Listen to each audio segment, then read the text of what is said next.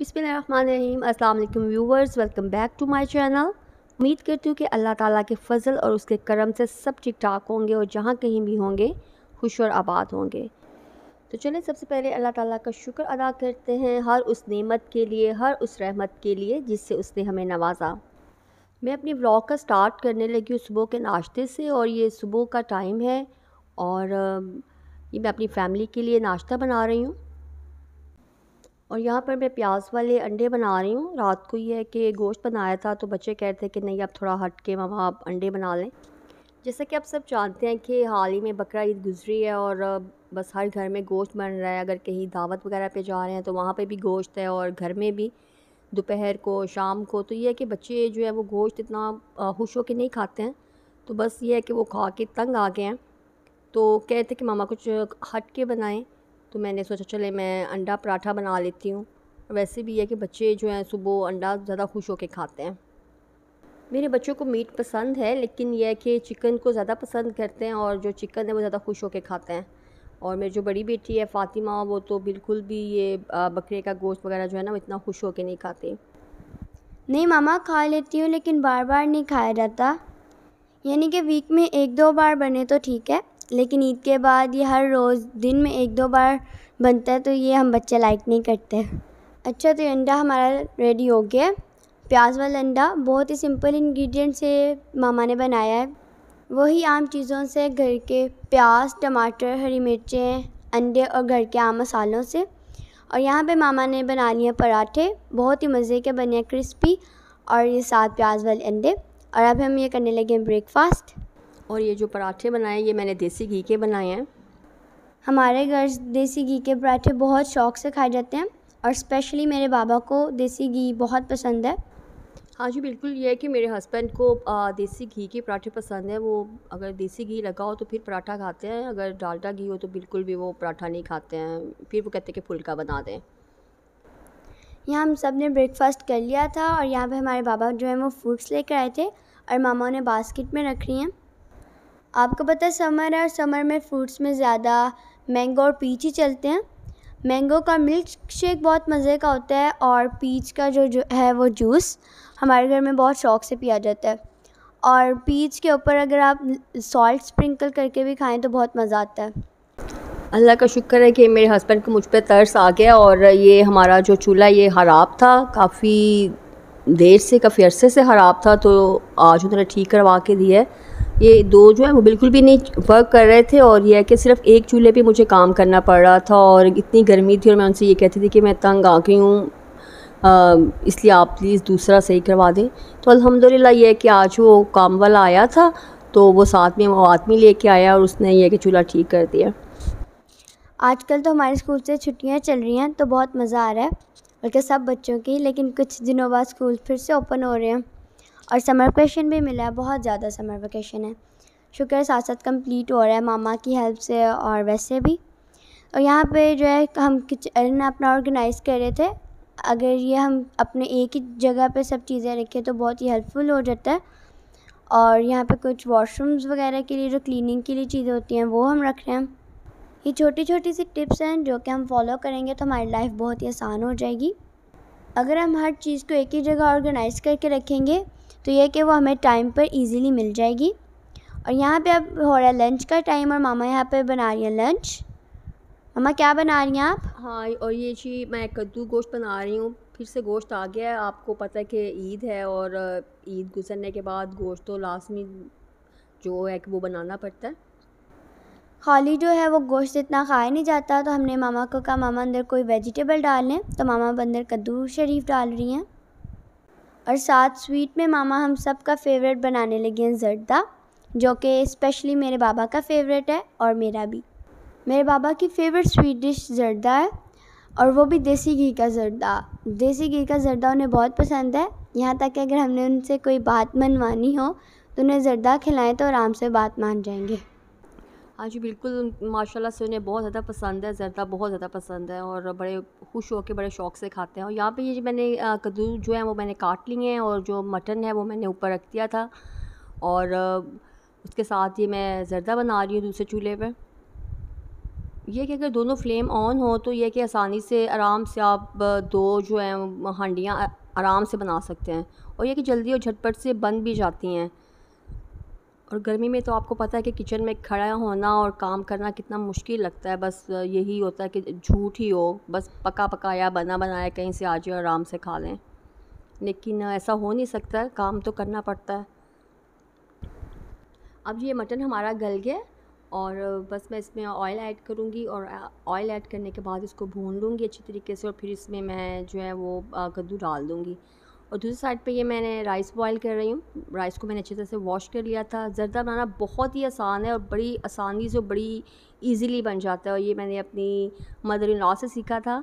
अपनी अम्मी जान से, माशाल्लाह वो बहुत ज़बरदस्त कुकिंग करती थी। और बस उन्होंने एक दफ़ा, एक दो बार उन्होंने मुझे बताया और अल्हम्दुलिल्लाह मुझे बनाना आ गया। और बड़ी झटपट सा बन जाता है। यहाँ पर ये मैंने हरी मिर्ची और टमाटर उनको काट के मैंने उसके अंदर डाल लिया मटन के अंदर। और बस इसको अच्छी तरह से भून लेंगे। ये अदरक और लहसुन का पेस्ट है वो ऐड कर लें। वही सिंपल इंग्रेडिएंट्स हैं जो कि आम हर घर में जो आसानी से आ, मिल जाते हैं और आप आराम से पका सकते हैं खाना मज़े का बना सकते हैं। खाना ये है कि जब भी दिल से बनाया जाए वो खुद बहुत मज़े का बन जाता है और आम सी जो चीज़ है वो ख़ास हो जाती है। और अपनों के लिए जब हम बनाते हैं दिल से बनाते हैं तो बस वो फिर खुशी के साथ और शौक़ के साथ बनाते हैं तो वो चीज़ जो है वो खुद बहुत मज़े की बन जाती है। और ये चावल जो है, ये बिल्कुल हमारे रेडी हो गए हैं। ये वन करनी पे थे और ये मैंने इनको जो है वो डाल दिया इसके अंदर, छानन के अंदर और ये है कि इसका पानी जो सारा स्टेन हो गया। और साथ साथ ये देखिए मैं जो गोश्त है उसको भून रही हूँ।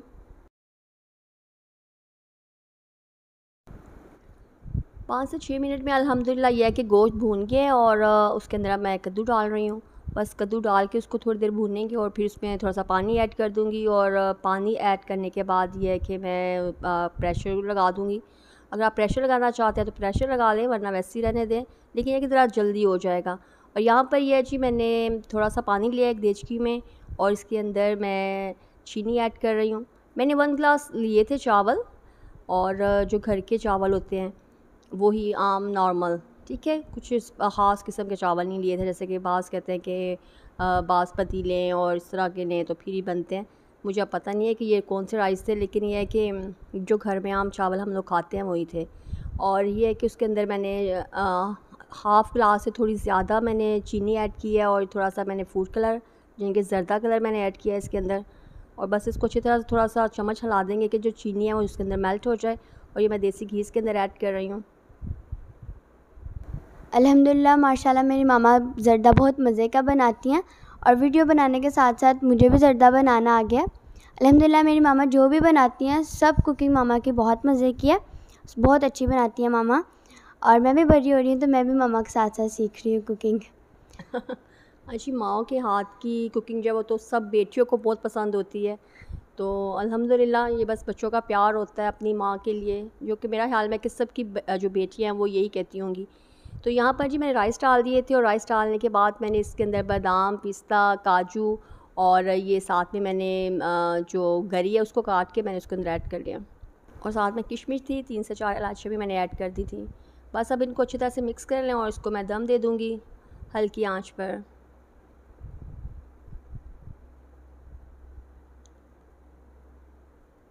और ये कि अल्हम्दुलिल्लाह पाँच मिनट हो मिनट हो गए थे ये यहाँ पर कुकर को लगे हुए। तो ये मैं इसका ढक्कन ओपन कर रही हूँ। तो ये देखिए ये हमारे जो कद्दू गोश्त है, बिल्कुल रेडी है। हमारे घर में ना, जो कद्दू है ना, वो खड़ा खड़ा, यानी कि उसके पीसेस जो है ना इतना खुश हो के नहीं बच्चे खाते हैं। तो बस मैं हल्का सा उसको मैश कर रही हूँ। और इसके ऊपर आप धनिया ऐड करके तो ये बिल्कुल आपका रेडी है। और ये, अल्हम्दुलिल्लाह, ये देखिए यहाँ पर हमारा ज़रदा भी बिल्कुल रेडी और बिल्कुल देखिए अलग अलग से चावल हैं और बिल्कुल ज़बरदस्त किस्म का बना और खुशबू, बहुत ही ज़बरदस्त किस्म की आ रही है और यहाँ पर साथ में मैं रोटियाँ बना रही हूँ, फुलके बना रही हूँ और कद्दू गोश्त के साथ घर के बनाए हुए फुलके बहुत ही ज़बरदस्त, बहुत ही मज़े के लगते हैं। बाज़ार की रोटी जो है बिल्कुल भी अच्छी नहीं लगती है। पहले मामा कह रही थी कि बाहर की रोटी मंगवा लेते हैं, लेकिन बाद में मामा ने खुद ही कहा कि नहीं, मैं घर में बनाती हूँ और बहुत ही मज़े के फुलके बने थे। सालन के साथ बहुत ही मज़ा आया। हाँ ये कि बाहर हो रही थी बारिश तो मैंने कहा बारिश में अब मैं अपने बेटे को कहाँ भेजूँगी? तो चलें मैं खुद ही बना लेती हूँ। और बाहर हो रही है जी आ, बड़ी ज़बरदस्त किस्म की बारिश हो रही है और मौसम बहुत ही ज़बरदस्त बहुत ही सुहाना हो गया ठंड ठंड सी हो गई है। और अल्हम्दुलिल्लाह गर्मी का जो ज़ोर है वो टूट गया है। इनके अच्छा लग रहा है बिल्कुल भी गर्मी नहीं लग रही है। काफ़ी देर से बारिश हो रही है लेकिन मेरा बाहर विंडो की तरफ़ जाना नहीं हुआ। तो अभी मैं आपको दिखाती हूँ बस ये बस रोटियाँ बना लूँ उसके बाद मैं देखती हूँ कि कैसा मौसम है बाहर का ना। जी मैं टेरेस में गई थी बहुत अच्छा मौसम है हम आपको व्यू करवाते हैं। पहले हम खाना खा लें उसके बाद टी टाइम में हम आपको व्यू करवा जी बिल्कुल हम लोग का खाना खा लें फिर उसके बाद आपको टी टाइम में व्यू करवाते हैं। तो ये जी माशा से रेडी हो गया है हमारा खाना और मैं आपको टेस्ट करके बताती हूँ कि ये कैसा बना दिखने में भी माशा बहुत अच्छा लग रहा है, लेकिन कैमरे में इतना इसका रिज़ल्ट अच्छा नहीं आ रहा, लेकिन ज़बरदस्त है माशाल्लाह, बहुत ही ज़बरदस्त है बहुत ही मज़े का और ज़रदा भी बहुत ही मज़े का बना है। आप ज़रूर ट्राई कीजिएगा इसको।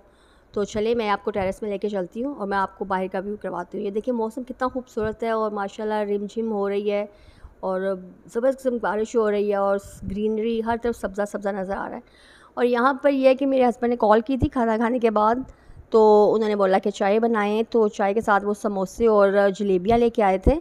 और आपको पता है कि बारिश हो रही हो और समोसे ना खाए जाएँ या जलेबियाँ ना खाया जाएँ तो बारिश का जो मौसम है वो थोड़ा अधूरा लगता है। तो ये देखिए समोसे और ये ज़बरदस्त किस्म की जलेबियाँ और साथ में चाय भी है। गर्मा गर्म जलेबियाँ थी और गर्मा गर्म चाय थी।